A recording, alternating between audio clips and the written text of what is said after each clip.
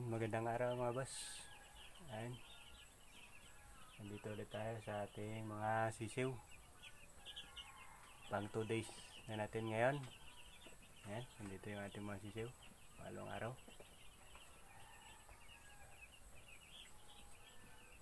Ayan mga boss. Buksan natin yung kabilang kulungan.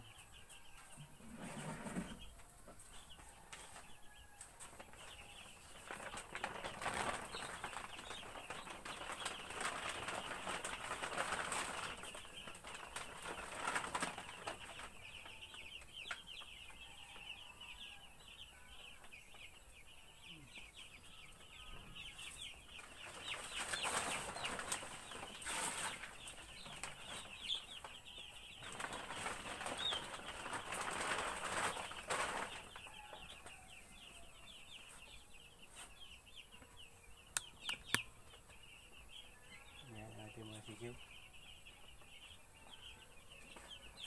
Papakainin lang natin yan mga boss. Tapos, lalagyan ng tubig. Lagyan ng vitamins. Ngayon, dalawang pangalawang araw, dalawang kutsara na lang na vitamins mga boss ang ilalagay sa bawat isang waterer. May tubig pa naman sila kaya hindi muna natin sila lagyan ng tubig. Basta yung pangalawang araw, no, dalawang kutsara na lang yung bibigay natin na ah, dextrose powder sa kanila.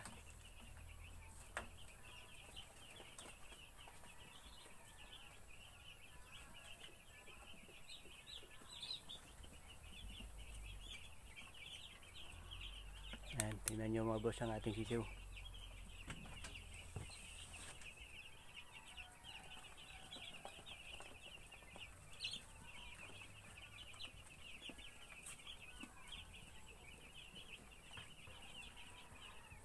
Ayan, malalaki.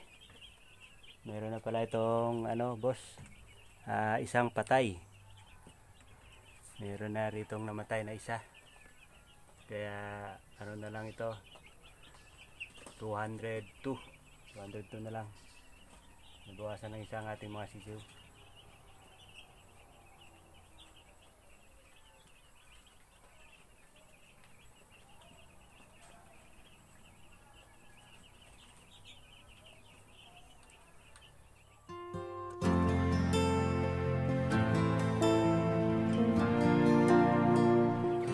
Welcome back mga boss sa ating channel G Macho Ah, pang-anim na araw na ng ating mga sisiw.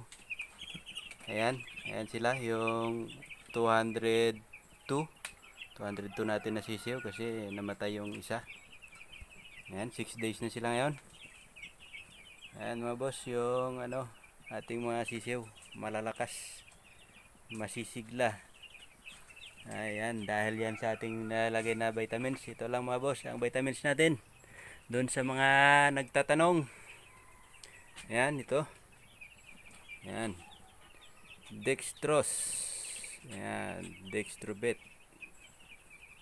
Ayan, ang ating vitamins.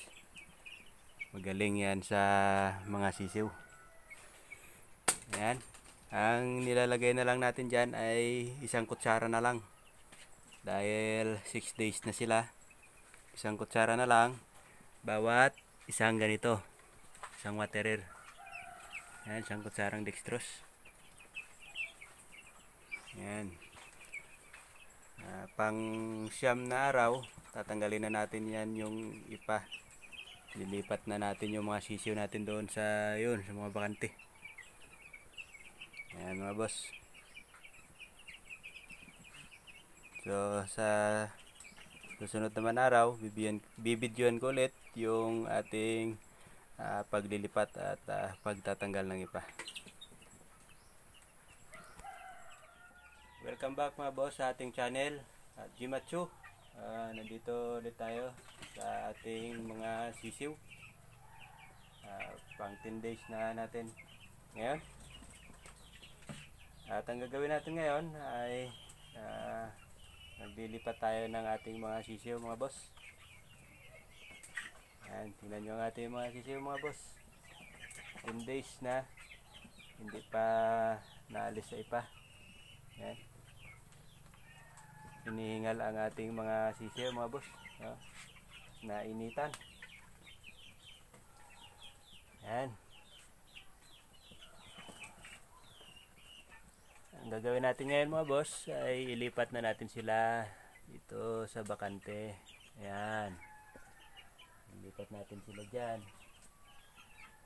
Para maalis na sila sa ipa. Para hindi na sila hingalin. Ayan. Yung iba dyan mga boss ay ah, nagkakaroon ng sipon dahil sa init. Kapag hindi kaagad natin ito naagapan, na ia- ialis sila dyan sa ipa, uh, magatuloy-tuloy yung sipon nila. Kaya kailangan natin alisin na sila sa ipa. Dapat dapat nung ano pa, 9 days pa. Eh maulan. Alam nyo naman yung panahon ngayon, palaging maulan at saka taglamig ngayon kaya hindi kaagad sila na ilipat. Uh, ngayon pang 10 araw na magandang panahon. Ayan, lipat natin sila mga boss. Ayan. Para hindi sila magkasipon at saka yung ano natin, ang bruxitil natin. Lagi lang natin bigyan sila ng bruxitil. Nakalagay na pala ako ng ambroxetil ito mga boss. Ayan. oh. Ayan. Ayan lang, ilalagay natin. At hanggang ah, mawala yung kanilang ano, sipon. Ayan. Mga tatlong araw lang yan. Wala nang sipon yan nila. So, lipat na natin mga boss. Ating sisiw. Ayan, lilipat tayo.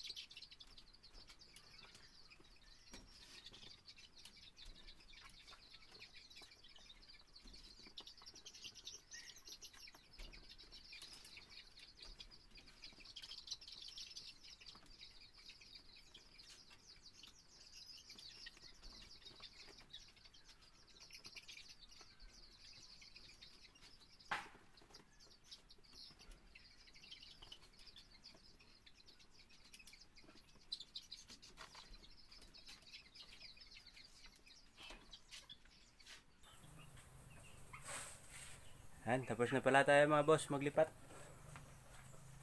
Ito, nandito na yung mga sisiw natin. Nilipat na natin dito sa ito, bakante. Ayan. Diyan sila. Ayan. Yung mga sisiw pala natin mga boss ay may bawas na. Bali, binilang ko ngayon, 199 na lang ito. 199. So, apat na ang namatay dahil 203 ito ang ating sisiw. Ayan. 199 na lang. Ayan, ito mga boss. Dito ay ang bilang niyan 64. Dito 65. Doon ay 70. Ayan mga boss bilang ng ating mga sisiw madali natin to bilangin kasi naka kwarto kwarto kaya alam natin ang bilang ng ating mga sisiw yan lalagyan na lang natin sila ng patuka mga boss. Ha, patuka pala natin mga boss. Ay ito. Starbro yan. Sinubukan naman natin itong Starbro kung maganda itong patuka booster crumble. Mabusan kasi ng seed kaya no choice tayo kaya star brew na lang ang nabili ko doon sa bilihan natin ng patuka. So, yun mga boss, ang ating ah mga alaga nating mga manok. Papakainin na lang natin ito ng ito, ng ah, booster crumble. Pagkatapos nito, mga 12 days, maghalo na tayo ng starter crumble. Uh, unti-unti natin ihalo dito sa ah, booster para matutunan kainin ng mga sisyo natin bago pagdating ng 14 days ay puro starter crumble na ang ibibigay natin. So, yun mga boss. At shout out pala doon kay ano, nagpapa-shout out si Burn TV. Shout out sa iyo, Boss Idol. Shout out sa iyo. Ayan. At uh, hanggang dito muna ang ating video mga boss. So, sunod ulit, magbibideo ulit tayo. So, kung bago ka pa lang sa channel ko, ah, huwag mong kalimutan mag-subscribe at push mo kaagad ang notification button para palagi kang update sa ating susunod na video. Maraming salamat at God bless sa inyong lahat.